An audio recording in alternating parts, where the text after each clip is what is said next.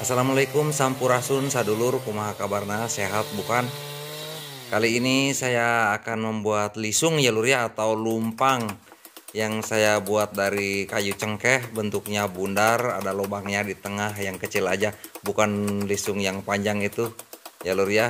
Oke semoga sehat selalu ya lur ya. Semoga terhibur selamat mengikuti dan jangan lupa diuyup kopinya lur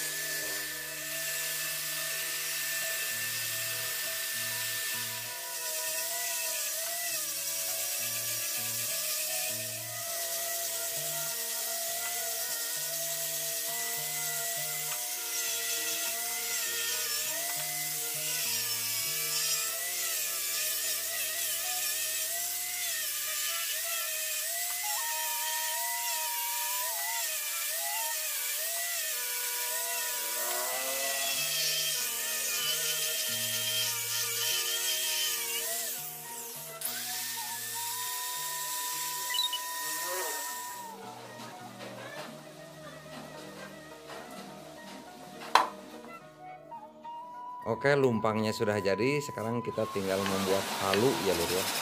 Halunya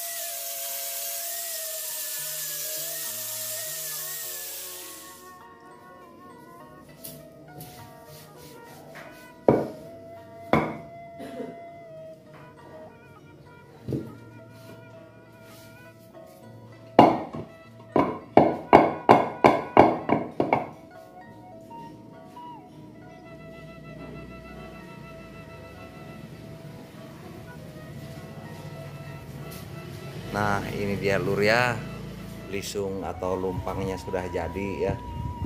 Ini sebenarnya kurang dalam karena tapi karena susah bener Karena memang kayu cengkeh itu keras Terus eh, susah daleminnya pakai pahat mah susah. Eh, Kalau teman-teman sadulur semuanya pengen bikin lisung yang bagus mungkin yang lebih baiknya dibubut aja ya lur ya karena pakai ini ya agak repot Oke, hatur thank you saya dulu pelantas nonton video ini. Jangan lupa like, komen, dan subscribe.